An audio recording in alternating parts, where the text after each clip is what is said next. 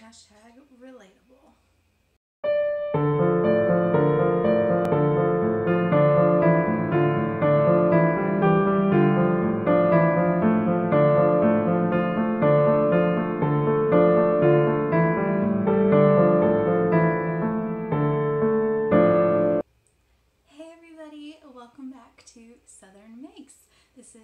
Officially episode three, and I'm so excited. Um, if you are new or if you're a returning viewer, thank you so much for being interested in my little slice of crafty life down here in um, the greater Nashville area in Tennessee in the United States. I live here with my husband and our daughter Charlotte and our two dogs, Stella and Barley, and our uh, fat orange cat, Rinley.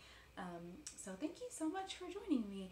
I don't have uh, too much on the knitting front to share with you today, but I am excited for what I do have to share. So I hope y'all stick around and uh, listen to me ramble on a little bit about all these fun projects that I've been working on. So the first thing I wanted to talk about are my uh, works in progress or my WIPs. So um, my Ingalls sweater. I did finish Charlotte's, so I'll show that in a little bit because that one I have a little bit to say because like I said she's six months so um, the pattern does have a size for extra extra small so that's the one I followed but I have some notes after finishing one for such a small person so that'll be interesting. So but for now here is mine. I have oh that color. Um, so I've bound off the the hem here at the bottom and you can obviously see the color change from that second ball of yarn that I was talking about in the last episode and I have cast on my first sleeve. So I've changed down to some um, 3.75 um, needles or sorry no I didn't actually I'm getting ahead of myself. These are still four millimeter needles. I wanted to use a 3.75 on the body, which I probably should have done just because I am a loose knitter. So I probably should have done that, but um, I kept with the with the four since that's what I knit the body on. Um, and I picked back up that had done most of the body in that I talked about last time that got so tangled and I mean basically a tangled mess where I, it was unusable and I got so frustrated trying to untangle it. But I sat down the other night and all I did was untangle this ball of yarn before I went to bed. And um, yeah. So I did that and I had a couple of um, sections where I cut. So when I first cast this on you can tell it does match because I tried to match them as best I could um, I do have an OttLite, so like a day a daylight, so I could look under that at night, I guess. But to my eyes, it looked matching. And then for the rest of the ball, I went ahead and I caked it, and then I just wound the rest around like loosely to where it wouldn't. Ugh, I don't know, but I'm trying. I'm trying to work with it. But the second I tied on, because I only had a little bit of that first color, the second I tied this back on, I could tell it was changing and the camera picks it up perfectly right here. So even though this is the ball that I was working the body with, it is different. So I know this yarn is, it's not variegated, but it's kind of tonal. It's like a heathered gray. So I thought maybe at the worst that it would be a little bit different there, but it is darker within the same ball of yarn. So I guess my sleeve is just gonna match down here and I'm not that concerned with it honestly. I think it's kind of cute. It adds a little bit of character to the sweater. Um, I can live with it I think. As long as after I block it it fits me um, big kind of oversized um, I think I'll still reach for it and wear it. And that is exactly what I'm wanting when I'm starting to knit these sweaters are pieces that I reach for, kind of capsule wardrobe practical pieces that I just want to wear all the time. And especially now that it's getting a little bit cooler, I am always in long sleeves, um, oversized, everything, cardigans, and some skinny jeans, or I guess I'll break out my leggings. I haven't worn leggings since I was pregnant. I got too big to wear them, and then I put them all up, and yeah, so I probably need to break back out my leggings. But yeah, so I should. I made a pretty good progress on this just in a day. Um, so I'm thinking by the end of the week maybe I'll have a sleeve unless I just you know work on it nonstop which which I might and then I could potentially have two sleeves so that's exciting. So that is the Ingalls sweater. That's by Caitlin Hunter of Boyland Knits, and I'm just using it's from Hobby Lobby Yarn Bee Soft and Sleek DK. Uh, low pill. It says it is 100% acrylic, so I am worried about how this is going to block. But I think I will uh, like lightly steam block it because I do want it to be longer, but it has a ton of stretch, so I think that it'll be as long as it fits me around the shoulders and the chest area, I think that it it'll be plenty snuggly and cozy. So that's exciting. Yay! Okay, so here is Charlotte's Ingalls. Ta-da! And I have the two ends on her little sleeves haven't been woven in because I'm kind of afraid um, that they're gonna come undone. So I'm trying to figure out the best way, like if I should put a little tack of fabric glue on them. So they are woven in and knotted, but they're not um, completely sewn in. So I'm trying to figure out the best way to do that. And um, like I said, some funny things about this because it is the extra extra small size. So I ended up not doing the, it does the pattern, it is paid pattern. Uh, this is again Caitlin Hunter Boyland Knitworks um, the Ingalls sweater. So it, on the back, so the back, it would have short row shaping here to give a little bit more shaping. But I ex I excluded that from this one because I knew it was for a baby, so she didn't really need that shaping. And then um, I obviously didn't knit, I think it's 15 inches of stockinette for the body because this is already at her, almost her uh, butt level. So that was long enough and then the sleeves this comes down past her elbow. So I just kind of um, did a little tiny um, hem on both and cast it off. And I lightly blocked it. It didn't really need it honestly. It had an okay shape and it's for her. It's she's gonna probably spit up on it a little bit and I'm gonna have to wash it and then and it is it's the same exact yarn as mine just in the contrasting colors and it is acrylic yarn. So um, I'll have to probably block it every single time and it's fine. I did lightly do this because on these on the increase rounds it makes these um, I don't know what you would call that pleats kind of almost look but on mine you can kind of see it and then as you knit the body it kind of evens itself out it's almost like gravity kind of just like straightens it out so for her, since I didn't knit that that long, it kind of like billows out around the midsection. So what I did, and I would need to go to the craft store or order some, I want to get a little bit thicker. This is just satin ribbon. It's pink. So I want to get maybe just double this width and the this gray color. And I've woven it, can you see? I've woven it in um, every other rib or so because um, it's a one by two rib so just every other one and then I know it's really long I was taking some pretty pictures so I wanted the ribbon to be really long on the side and then I just um, when she's wearing it I can just kind of like pull it to fit her a little bit better and then tie a big bow on the side so um, I'll insert some pictures at the end of her wearing some little leggings um, with this and then the cute little bow she is sitting right here next to me. If you keep seeing me looking down, she woke up from her nap. So, and I still wanted to um, show you guys this. So yeah, that is her little Ingalls sweater. We are going, my husband has a, um, we, they do work events. Um, it's actually where I used to work as well. So I'm excited to see everybody because I have been staying home with her and I haven't been to visit since she was four weeks. So really excited to see everybody, but they're all going to a pumpkin patch kind of near where we live um, next this upcoming Saturday. So I'm planning on her wearing this with some cute little leggings and getting some really freaking adorable pictures of her with some pumpkins while we're while we're out there. So um, and if I have mine finished, I'll wear mine too, and then we can get some cute fall pictures of us in our matching sweaters. Yeah, we'll be super cute. So yeah, so that is that one. So the next thing I have to talk about is actually a cross stitch. Um, I loved cross stitch. I actually used to have an Etsy store where I mostly did custom cross stitch. Um, they were mostly vulgar cross stitches. I, I think that is the funniest trend that ever was and there's so many creative things you can do with that trend and I just loved it. And I actually did get a lot of custom orders. People wanted the craziest things. It was really fun. Um, but as with most handmade things, the price point wasn't always worth the amount of work that I was doing for them. So I did eventually, and I was working full time. So I did eventually close that down. Um, but I do miss it, and I do still cross stitch when it the urge overtakes me.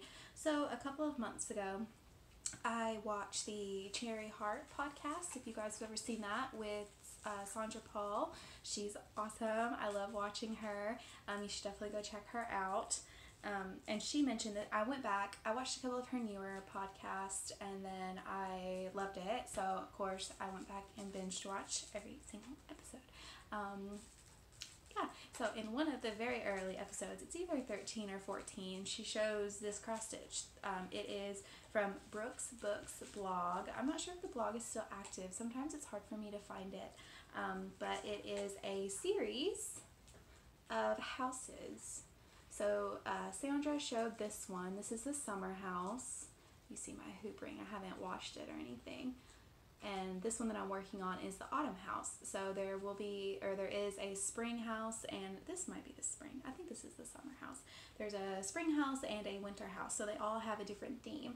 And um, this is the one that Brooke has up on her blog. And through some Googling, I did find all of the other ones in a complete downloadable pattern. Um, so it's got the graft and the color, the graph and the colors that Brooke uses for hers. I'm just looking at the picture and then just picking. I have a whole stash of DMC and various brands of uh, cross stitch thread. So I'm just looking at the picture and kind of picking out uh, what I like and what goes with what.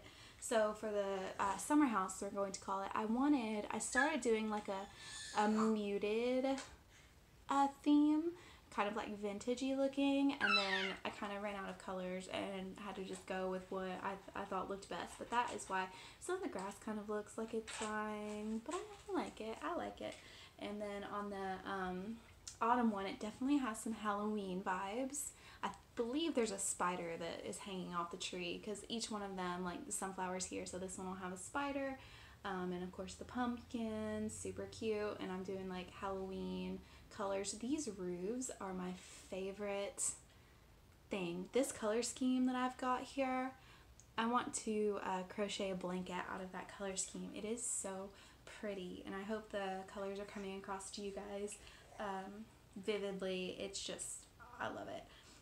But yeah, and the only thing about this that is so time consuming, I mean, it is time consuming. I'm using 14 count um, paper on this one, but the empty space, I couldn't decide if I wanted to fill it in or not, but there is a lot of empty space, and I didn't follow this pattern exactly. I made a little bit, um, some differences as you do, um, but I did decide in the end to go and fill all the empty space with just white, and that took just as long as the whole house. Um, so I kind of regretted, I mean, probably two weeks. So maybe it was a whole month it took me to do that one. Um, so I kind of regretted that because I'm going to have to do that on the rest of the houses to make it look cohesive. And I'm definitely going to do a border and then frame it in a really pretty frame. So I have all this extra fabric to do the other two houses above. And I'm to try to finish this one by fall and then just start the winter one whenever. Probably like early December, have that be some cozy couch knitting or knitting. I'm thinking I'm looking at my Ingalls sweater like I need to knit. Um, cozy couch um, cross stitch to do my winter one. So I am working on that just whenever the mood um, takes me because cross stitch it is a little uh, labor intensive and at the end of the night I am pretty tired. And this Ingalls sweater has just been so nice because I can just sit and knit in stockinette stitch and it has just I mean it's just relaxing. And honestly how frustrating the tangles were in the yarn. Even that's kind of relaxing because some nights I just sat in an untangled yarn. So I didn't really even have to think about anything just untangling my yarn. It's been really nice. So I'm definitely going to have to start researching my next knitted project which is probably going to be another Caitlin Hunter pattern and going to be another sweater let me pick up Charlie's toy one second so Charlie's going to sit with me for our last section which is personal setup. Yay! so, uh, just in my personal life lately, um, a couple weeks ago we had her little half birthday, six month ordeal. So she'll be seven months here very soon, and we're all very excited for her. She's a little sweetie. Lately, she um, she's trying to crawl. She's getting really close to crawling. She's become interested in the puppies. That one there is Barley. She's very nosy. Uh, and they've they've been they've been noticing her. She's been noticing them a little bit more, and everybody's getting along. Um, and other than that, really, I haven't had too much going on. I did want to, in this personal section, talk about my dying a. Not my dyeing, but my potential yarn dyeing. So I ordered everything that I needed, and um, I ordered most of the actual supplies off of Amazon, and all of that came. So like tongs and a hotel pan, and um, gloves, citric acid. What else? just all of the things like that that I needed. Um, and then for my actual dye and yarn, I ordered off of Dharma Trading. So I got the first two that I ordered just on a whim were poinsettia and sour apple. Obviously, Christmas vibes are happening there. So I um, want to do my first uh, little bit of experimentation. I want to do some Christmas colors. I did buy some uh, nice yarn from Dharma that I do plan if everything works out on my practice yarn, which was just some Knit Picks Ecru uh, pack of 10 from Amazon, which was surprisingly affordable. I think it was like 17 or 18 dollars for 10 of them. So um, I'm gonna practice on that and see how that goes. And then if all that works out and I love you know what I've done or whatever, I'll take the plunge and do some on the Dharma yarn, won't I? Um, so I got a fingering weight and a, I think it's either worsted or DK. I might have gone with the DK because it was a blue face Leicester and I love that. So um, went with just those two just for now, just to sit and experiment and figure out kind of what I want to do. Um, and just see how it goes. And I'm really, really excited. Um, I did order other colors. Those the poinsettia and the sour apple are just kind of the two I'm most excited about. And Charlie's excited she's. She's like, when do I get, um, when do I get to eat, mom? She um has started. We started her on solids quite a, a long time ago, but um, we've just been doing purees, and we tried to give her. Kyle and I tried to give her some eggs the other day, and she, this. I mean, babies put everything in their mouth. I mean, like she's everything in their mouths, but with the eggs, she would not. I even tried to put a little bit with some pureed carrots on a spoon, and this little girl figured out how to spit out the eggs and keep the carrots, and I snapped a ton of pictures. It's hilarious. She hated it. And then I tried to do some, um, just some sweet potatoes steamed, and then I mashed them up a little bit with some water, and I tried to do that, and she eats sweet potatoes and purees all the time, so I figured she would love it, and nope. So, PSA, if this video seems a little bit choppy, it is because uh, Charlotte, my daughter, has had a crazy, just sporadic nap day. We are working on going from really four naps to three down to two. She kind of can't figure out her sleep cycles, and yeah, so I have had to start stop so many times just to check on her and make sure everything is going okay. And yeah, so sorry for um, the choppiness if it's noticeable when I edit it. Hopefully I can try to edit a little bit out. So the next thing I wanted to talk about was my dyeing. I am so excited about all of this. I talk about it a little bit in my outro. So as I'm saying goodbye, I kind of mention the things, but I went and grabbed, um, I mentioned that I purchased from Dharma Trading all of my acid dyes that I'm going to use. So I just went ahead, I mean this was sometime last week, and I got two colors. Um, the Christmas Spirit really took over me. I saw the Nellis Cottage ear warmers that I talked about a second ago. And um, it was Christmas colors, so I just, the inspiration. So when I went on, they had a poinsettia color and a sour apple, which sour apple is just, I mean, it kind of looks like a Granny Smith green. And that's one of my, other than the deep emerald greens or just the forest green that goes with Christmas colors, I love the light Granny Smith green with the um, deep red. I just, that's my favorite Christmas combination. So I thought I would just show the two little dyes that I got. I just got two ounce ones to start. I just just to experiment. So that's the poinsettia and that's the sour apple. So they're all labeled.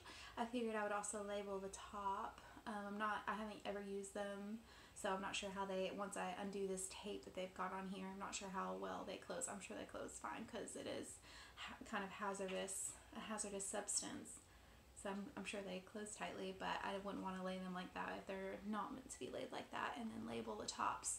Um, because this storage um, shelf over here that I talked about last time, I am going to start clearing it off this week and make at least one little section my dye, my dyeing items. She's crying again. I'll be back. Okay, I'm back. She's fine.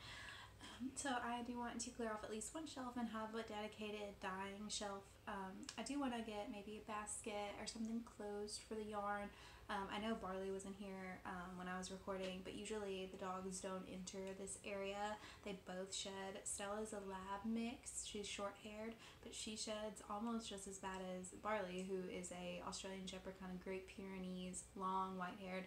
Um, we just got her hair trimmed, so she looks a little shaved right now, but she still sheds. So they are not allowed in here most of the time for fear of their fur getting all over my crafty bits, which yarn is just magnet for hair. So even though they're not allowed in here, I do want to, I think, get some closed boxes, or I mean, I could just keep it in the the plastic wrap that it comes in, but I'm wanting to do it all like cute, organized. Um, like that up there. So that is one of my projects for this week. I'm really excited. I love organizing and decorating. I still want to um, do something back here behind me. Uh, this little coat rack right here is really growing on me though. At first I was going to take it down. That way I could um, either do shelving here um, above and put a desk back there or just uh, art and stuff on the wall back there and crochet and knitting and cross stitch stuff but I love the convenience of this coat rack here. I just have some project bags and those are two little dresses. I've made Charlie, that blue one is a newborn and then that one you can't really see that pink one. It is so cute. I in my very first podcast put some pictures of her in that one. It still fits. I think it's a six to nine month or even a nine to twelve month. I just couldn't wait and I put it on her a couple months ago and took some pictures of her with a blanket that I made her while I was pregnant.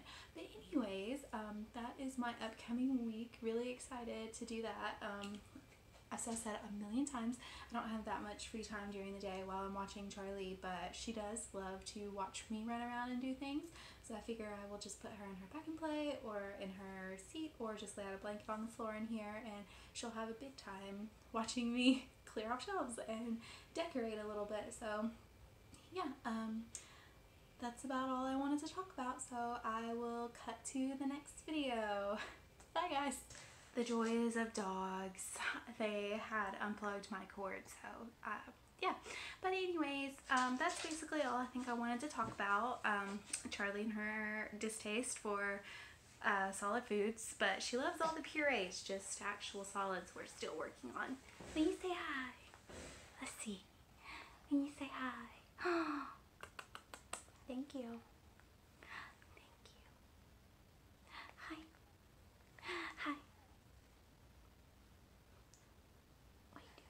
Hi. Who are you talking to? But yeah, um, I want to thank you guys for watching, um, sticking around, being interested in all of my makes and my ramblings, and watching me continue on this journey. I'm really excited. My next podcast, I should definitely have some dyeing content. I'm hoping, um, you know, everything goes well and I don't self combust and get super frustrated and whatever. But I'm really excited. I think it's going to work out and I think I'm going to love it and I just cannot wait. So, yeah, thank you guys for watching and see you next time. Say bye. And thank you so much for watching. I hope y'all have a wonderful week and enjoy this cooler weather that I think most of the country is starting to get a little bit. I heard that it's supposed to be um, looking out for snow more in the Canada um, area of the country, but still it is a little cooler here and we're enjoying having the windows open today, getting some fresh air, um, turning the AC off, which is crazy because it was just 90 degrees yesterday. Um, but yeah, hope y'all have a wonderful week. And again, thank you so much for watching. If you would like to um, stay in the loop, um, please feel free to click the subscribe button below. Um, you can click the notification bell or follow me on Instagram where I'm Southern Makes Co. I post a picture saying that I have my new podcast video up on YouTube and I update the link in my description so that way all you have to do is click on that if you are interested in seeing that. And um, otherwise, I'm Southern Makes across um, Ravelry and on Etsy. So um, I will definitely put an update if I put something in the shop related to my yarn dyeing adventures. But for now, it's just um, the bear shop, so there's nothing much to see. But you could go favorite it if you want to stay in the loop on any updates there. So yeah, thank you all so much for watching. Have a good week. Bye!